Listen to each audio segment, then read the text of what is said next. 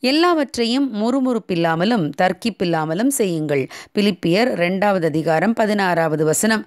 Charles பர்ஜன் ஒரு முறை தன்னுடைய பிரசங்கத்திலே இந்த உதாரணத்தை பயன்படுத்தினார். காளை மாடுகள் பூட்டப்பட்ட ஒரு பெரிய மாட்டு வண்டி அதிக பாரம் நிறைந்த பொருட்களை ஏற்றிக்கொண்டு கிராமத்து சாலை வழியாக சென்று கொண்டிருந்தது. அந்த மாட்டு வண்டியின் சக்கரத்திலிருந்து க்ரீச் க்ரீச் என்று சத்தம் கேட்க ஆரம்பித்தது. அந்த சத்தம் வர வர அதிகரித்து கொண்டே இருந்தது. சத்தத்தை பொறுக்க முடியாத காளை மாடுகள் பின்புறம் திரும்பி ஏய் சக்கரங்களா நீங்கள் ஏன் இவ்வளவு சத்தமிடுகிறீர்கள்? நாங்கள் தான் இந்த வண்டியின் ஒட்டுமொத்த பாரத்தையும் சுமந்து கொண்டு வருகிறோம். அழ வேண்டியவர்கள் நாங்கள் ஆனால் நாங்கள் அமைதியாக எங்கள் வேலைகளை செய்கிறோமே. நீங்கள் ஏன் முறுமுறுத்து கொண்டே வருகிறீர்கள்? என்று கேட்டன. ஆம் பிரியமானவர்களே பொதுவாக வேலைகளை உற்சாகமாகவும் சுறுசுறுப்பாகவும் செய்பவர்கள் குறை சொல்வதில்லை முறுமுறுப்பதில்லை. ஆனால் சொற்ப வேலையை செய்கிறவர்கள்தான் அதிகமாக முறுமுறுப்பார்கள் குறை கூறுவார்கள் என்று ஸ்பர்ஜன் தன்னுடைய பிரசங்கத்திலே இந்த உதாரணத்தை தொடர்புபடுத்தி கூறினார். வேலை செய்யாமல் சும்மா இருப்பவர்கள் குறை கூறுவதையும் முறுமுறுப்பதையுமே பெரிய வேலையாக செய்வார்கள். இயேசு கிறிஸ்து சொன்ன தாளந்துகளை பற்றிய ஒரு ஓமையில் ஒரு மனிதனுக்கு ஐந்து தாளந்துகள் ஒப்படைக்கப்பட்டன அடுத்தவனுக்கு இரண்டு தாளந்துகள் ஒப்படைக்கப்பட்டன. மூன்றாவது மனிதனுக்கு ஒரு தாளந்து கொடுக்கப்பட்டது. அந்த மூவருமே ஒரே எஜமானிடத்திலே வேலை செய்தவர்கள்.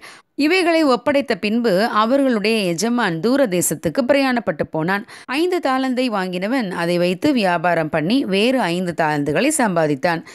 இரண்டு தாளந்துகளை வாங்கினவனும் வேறு இரண்டு தாளந்துகளை சம்பாதித்தான். ஒரு தாளந்தை வாங்கினவனோ போய் நிலத்தை தோண்டி தன் எஜமானுடைய பணத்தை புதைத்து வைத்தான்.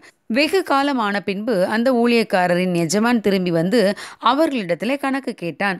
ஐந்து தாளந்தை வாங்கினவன் அதை வைத்து வியாபாரம் செய்து வேறு ஐந்து தாளந்தையும் சம்பாதித்தான். தன் எஜமானிடத்தில் மொத்தம் பத்து தாளந்தை ஒப்படைத்தான். இரண்டு தாளந்தை வாங்கினவன் வேறு இரண்டு தாளந்துகளை சம்பாதித்து மொத்தம் நான்கு தாளந்துகளை கொண்டு வந்து எஜமானிடத்திலே சந்தோஷமாய் கொடுத்தான்.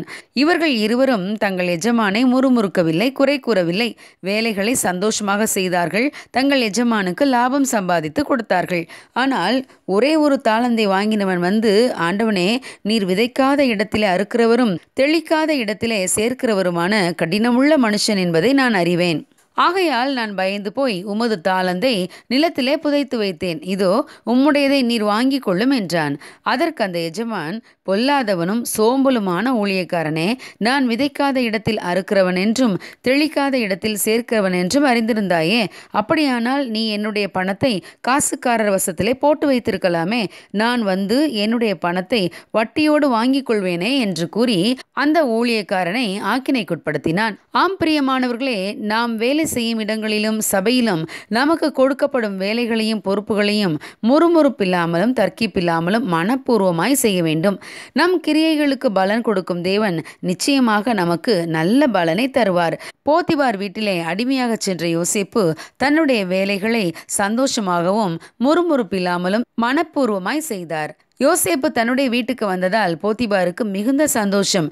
போத்திபாரின் வீடு ஆசீர்வதிக்கப்பட்டது. அதற்குரிய பலனை போத்திபாரிடமிருந்து யோசேப்பு பெற்றுக்கொள்ளாவிட்டாலும் அவனவன் கிரியைகளுக்கு பலன் கொடுக்கிற தேவன் யோசேப்பை எகிப்திலே பிரதம மந்திரியாக உயர்த்தினார். ஆகவே பிரியமானவர்களே உங்கள் நல்ல வேலைக்கு நிச்சயமாக பலன் உண்டு. ஆகவே சோர்ந்து போகாமல் குறை கூறாமல் நேர்த்தியாய் நமது வேலையை செய்வோம். பலனை தருகின்ற தேவனிடத்திலிருந்து பலனை பெற்றுக்கொள்வோம்.